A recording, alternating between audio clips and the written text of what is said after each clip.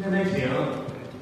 中国移动杨杰董事长上台，请苗部长向杨杰董事长颁发许可证。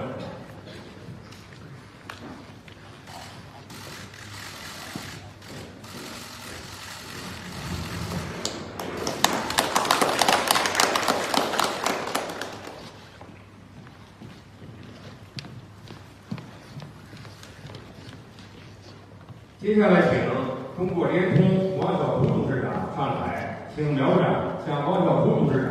颁发许可证。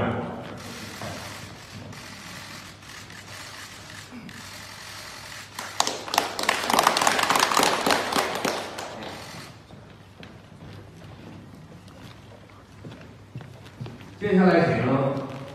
中国广电赵景坤董事长上台，请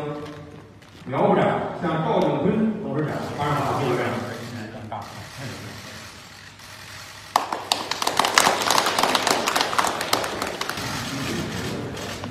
国家发放五 G 牌照，一方面呢是，呃，我觉得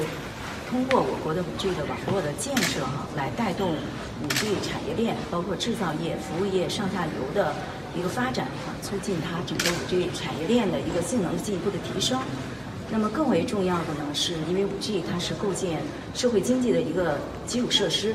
呃，通过五 G 的建设呢，应该说能够呃带动实体经济啊实现转型升级，特别是五 G 和工业，包括交通、呃农业啊等各行各业的一个结合啊，呃能够形成五 G 的融合应用，促进整个经济的一个快速的转型发展。所以我想，就是在这样一个时间段吧，来发放五 G 的这样一个牌照的话，嗯，在促进这个产业自身发展的同时呢，也是抢抓数字经济发展的一个新的契机吧。所以应该说是非常重要的。